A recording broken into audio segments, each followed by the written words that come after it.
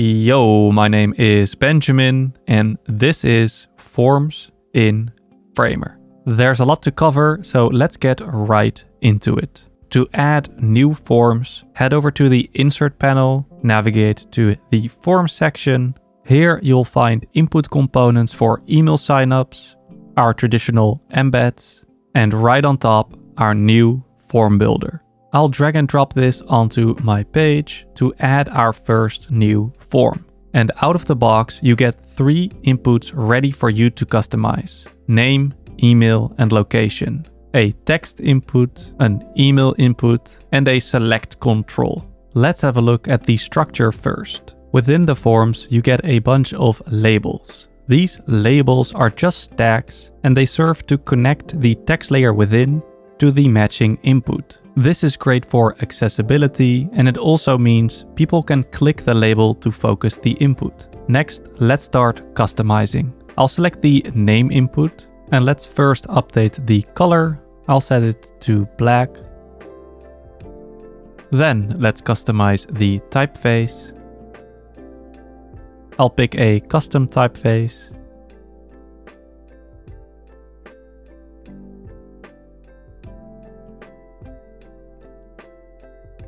Then let's change the fill color to white.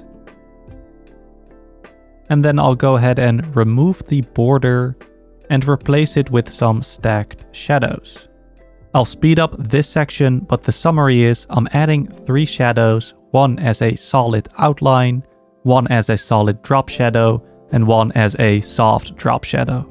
Alright, and this is what we have so far. Just some lightweight customization, and let's do the same to the label. I'll select the text layer here and I'll be sure to give it the same custom typeface. And now that we've customized this first input, how do we bring over these styles to the other inputs? A simple way is to right click and copy the style. And I'll often use the keyboard shortcut for this, which you can find in the menu and then we can paste this style onto the other inputs. And I'll do the same for the text layers using the keyboard shortcuts. And finally the select control as well. By making all these elements directly selectable on a canvas, we've achieved a uniquely flexible editing experience. For example, to split up our name input, I'll select the label, Command D to duplicate, double click on the text label and write first and last name. Then I'll click on the first input and I'll update a few properties here. The name is what we'll see in the data later when you submit. I'll update the placeholder and I'll make this input required. Then I'll select this input and I'll do the same thing here. And now if we want to change the layout and bring these on the same line, I'll select both and I'll wrap them in a stack.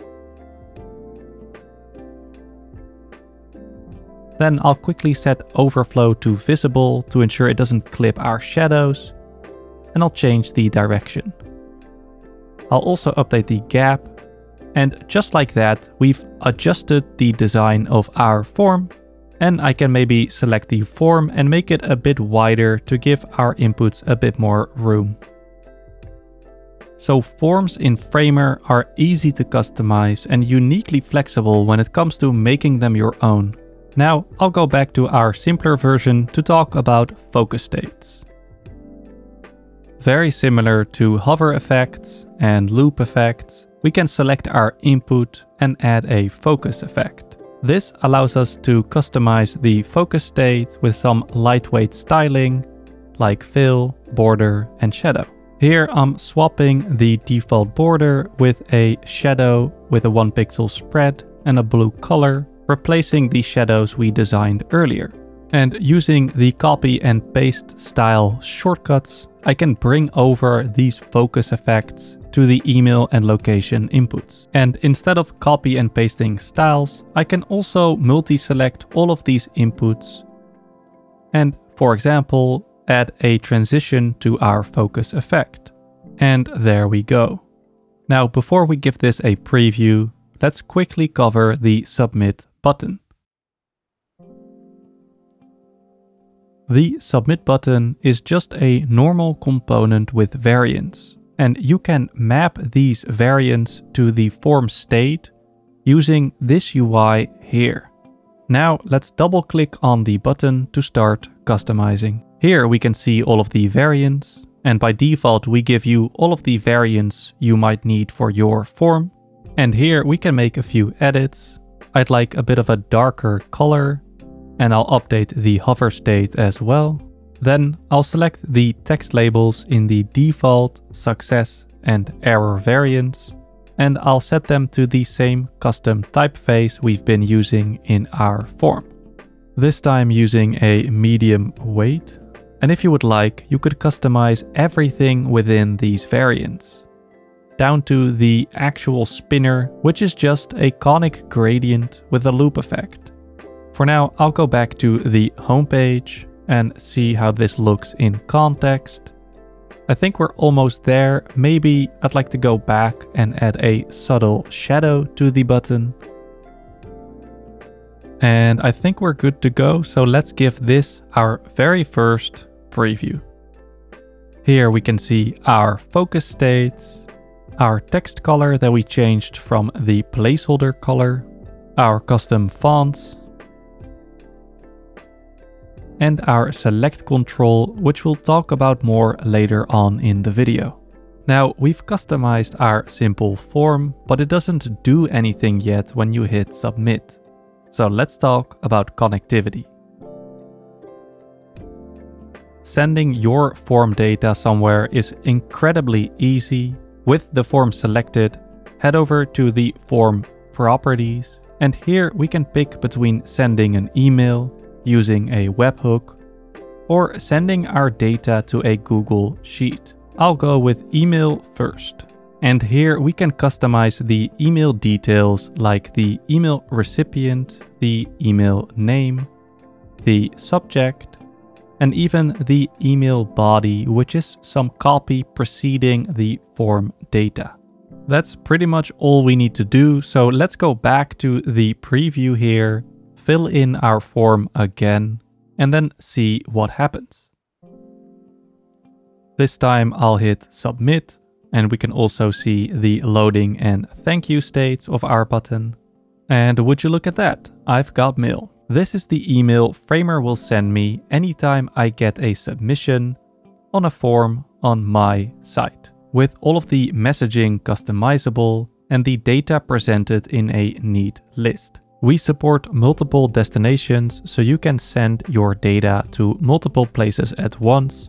But for now, let's remove email and have a look at connecting it to Google Sheets.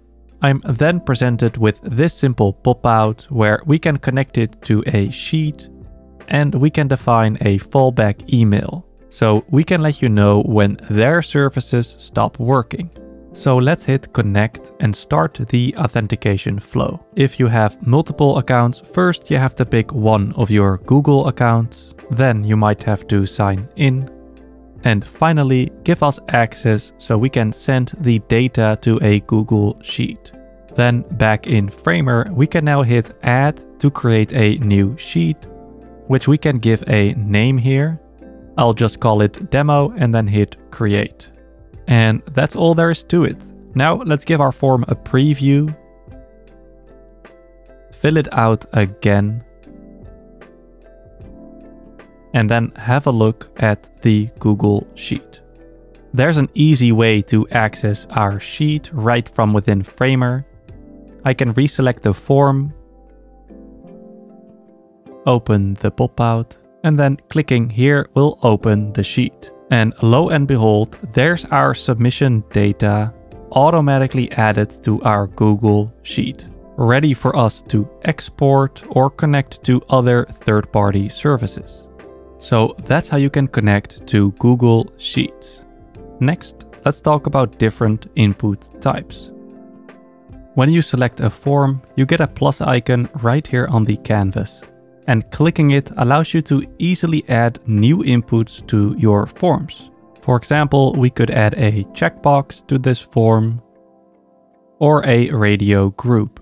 While there are four high-level options in this menu, the generic input option supports many different types of inputs right from within the property panel. And each input type has a unique set of properties you can access by clicking on the input header, like the select control where you get an array of options allowing you to design your drop-down menus. For example, I can quickly add two more cities. I need a value that's for the data and then a visual title that will appear in the menu.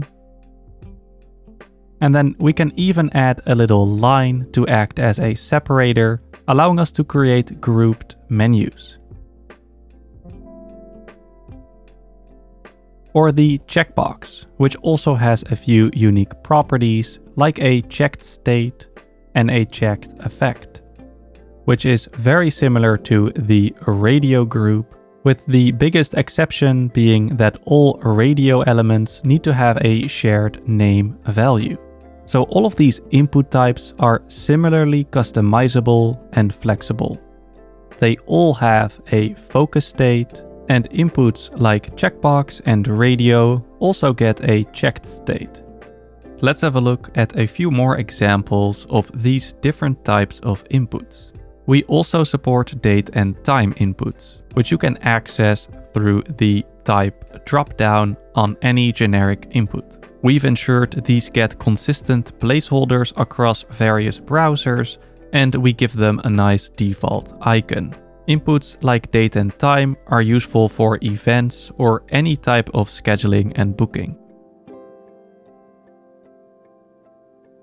Next is the select control. We already took a look at this one, but this is a more realistic example of how it could be implemented in a custom form. Next up, another example of a radio group. What's especially useful here is that the labels are also just text layers and they will be clickable out of the box. This also applies to checkboxes and you can even add inline links here with complete support for link styles, color styles and text styles. Next up, let's have a look at one of my favorite form features, component support. You can select any label containing the text layer and an input and turn it into a reusable component. This not only allows you to use variables, it also allows you to design your own focus and blur states. Here I've designed a custom focus state with a placeholder that animates into a label, just using a single text layer. And by selecting the input and dragging from the interaction connector, we can define our own focus and blur state and switch to any given variant. We can even take into account whether or not a user has typed in the input. Or in other words, does this input have a value or not? So on focus, I'll switch to the second variant and this is where things get interesting because on blur, we only want to switch to the third variant when the user has typed in the input. So when the value is set. Otherwise, we simply want to switch back to the default variant. So on blur, when the value is empty. Three interactions, three variants. Let's go ahead and give this a preview. Now, when we focus the input, we switch to the focus variant and our placeholder animates into a label. And if we unfocus or blur the input after having typed in the input, we properly switch to the third variant, ensuring the value and the placeholder never overlap. So you can use components to design your own interactive states. Next, let's talk about what you can do after having successfully submitted a form. Here I've designed a custom thank you page with a few simple appear effects. I can use the form to automatically redirect to this page after a successful submission. With the form selected, head over to the property panel and you'll find a redirect property. Here you can select any one of your pages I'll select the thanks page and that's all there is to it. Now, when we fill out the form, we will be automatically redirected to the thank you page.